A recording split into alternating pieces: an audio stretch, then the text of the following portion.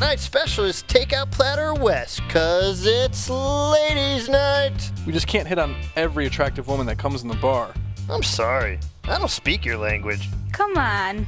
I'll show you all my secret tattoos again. You must have a more exciting hobby, right? I'm an amateur proctologist. Father, forgive us, for we have sinned.